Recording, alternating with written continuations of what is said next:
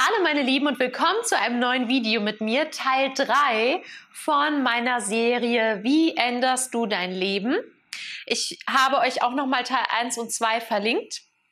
Teil 1 war, wo ist deine Bremse? Warum bewegst du dich nicht in eine andere Richtung? In, jetzt mal grob gesagt, Teil 2 war auch so ein bisschen diese Entscheidung, woher kommt so mein Impuls, mich äh, gut oder schlecht zu entscheiden für mein Leben, bin ich es mir wert? Und jetzt in diesem Video geht es darum, wie setzt ihr überhaupt um, was ihr erreichen wollt.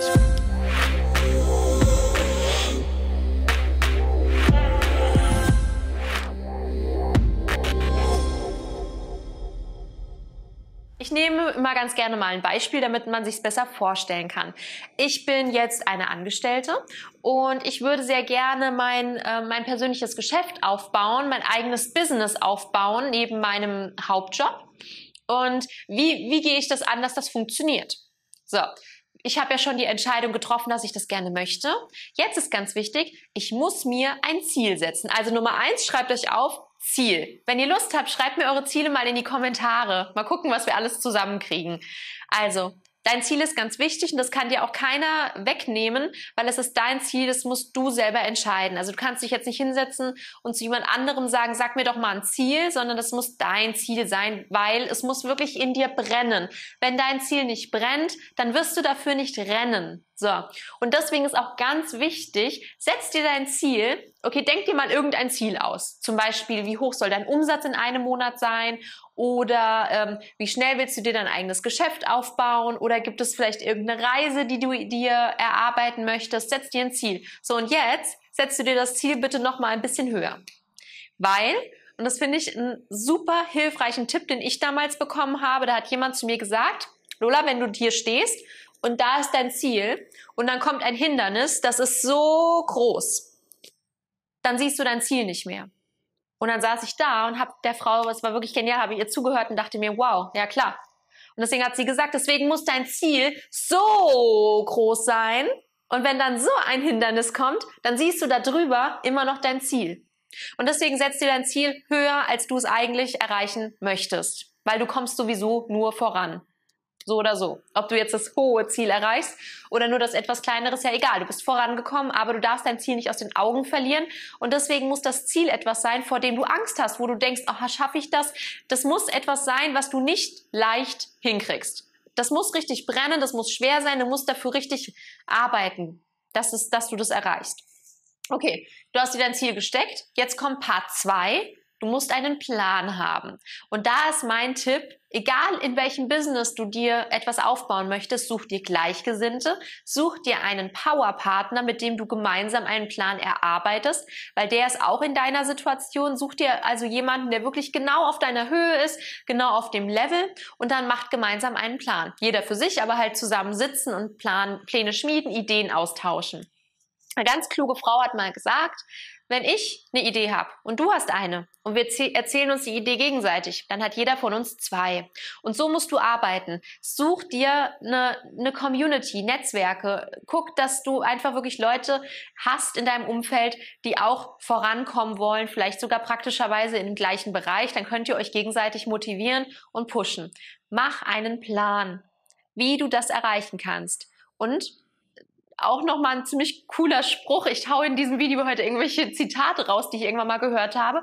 Du kannst auch einen Elefanten essen, nur Stück für Stück. Also das bedeutet, ein riesengroßes Ziel musst du in kleine Etappen runterbrechen und das auf deinen Plan anwenden. Das heißt, du musst jetzt keinen Plan machen, ich möchte einen Umsatz von 200.000 Euro im Monat haben.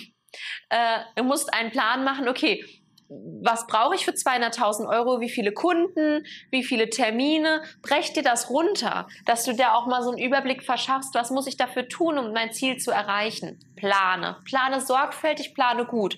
Werf deinen Plan wieder um, mach einen neuen. Guck, wie der erste Plan funktioniert hat, mach einen neuen. Also du kannst dich da weiterentwickeln, bleib nicht stehen. Du kannst immer wieder dich mit anderen austauschen, die nach ihrem Plan fragen deinen nochmal kritisch überprüfen.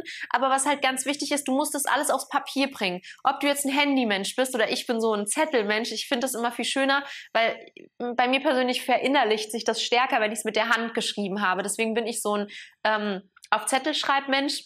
Und plane einfach sehr, sehr gut das, was du erreichen möchtest. Und jetzt kommt Punkt drei und der ist total wichtig, weil sonst passiert gar nichts, dann bleibst du nur in der Theorie und zwar du musst tun, du musst dich bewegen. Setz dich in Bewegung und setz deinen Plan um. Und da kann ich dir wirklich nur sagen, tret dir in den Arsch. Du musst deine eigenen Hummeln im Hintern sein und versuche dir das beizubringen. Am Anfang ist es schwer, das ist klar. Das will ich gar nicht irgendwie beschönigen. Am Anfang denkst du, ach nee, kein Bock und ach nee, das Telefon hat Stacheln, ich will nicht, oh, voll blöd. Ja klar, das ging uns allen so. Und dann irgendwann fängst du an, okay, ich probiere es jetzt einmal, ich probiere es zweimal. Dann hast du das erste Erfolgserlebnis. Dann merkst du, ah, jetzt hatte ich schon meinen ersten Umsatz oder meinen ersten Kunden oder ich habe jetzt, äh, keine Ahnung, das und das gelernt ähm, daraus, weil vielleicht jemand Nein gesagt hat und du hast dir dann überlegt, warum hat der Nein gesagt? Habe ich vielleicht eine Information vergessen und dann reflektierst du wieder. Du fängst so ein bisschen an, auch damit zu spielen und zu jonglieren, äh, was dein, was dein Weg ist, dich für dein Geschäft in Bewegung zu setzen. Und das ist das Wichtige. Du musst tun, du musst dich in Bewegung setzen, weil du kannst nicht ein Ziel haben, einen Plan machen und dann, ohne dass du es wirklich mit, mit aller Gewalt versucht hast, sagen, hat nicht funktioniert. So läuft es nicht. Du musst richtig anstrengen, du musst dich anstrengen, du musst dich, dich richtig dazu zwingen am Anfang, dich daran zu gewöhnen, weil Menschen sind Gewohnheitstiere. Und in dem Moment, wo du was tust, was du nicht gewöhnt bist, bist du außerhalb deiner Komfortzone. Aber genau da sollst du ja auch hin, weil ohne dass du aus deiner Komfortzone rauskommst, entwickelst du dich auch nicht weiter, also kommst du nicht voran. Und deswegen musst du jetzt, wenn du deinen Plan fertig hast, mach dir wirklich mal eine Liste. Schreib Ziel, schreib deine Ziele auf. Dann zweitens Plan. Dann machst du einen Zettel oder einen großen ähm, A2-Zettel vielleicht sogar mit einem Wochenplan, an welchem Wochentag du was machen möchtest. Mach dir To-Do-Listen. Versuch wirklich auch so ein bisschen diesen Spaß daran zu finden. Und dann kommt diese Dynamik. Entwickel eine Dynamik in deinem Geschäft oder in deinem Vorhaben und dann tue. Tu wirklich was. Wenn du merkst, du, du sagst wieder ab und hast nichts getan oder es hat mal was nicht funktioniert und du ziehst den Kopf ein, such dir einen Powerpartner, mit dem du dich gegenseitig austauschen kannst, wo ihr euch motivieren könnt, wo ihr sagt, ah, das hat nicht so gut funktioniert, aber so und so hat super funktioniert, weil so lernst du dazu und dann funktioniert's. Ich wünsche dir viel Spaß beim Umsetzen.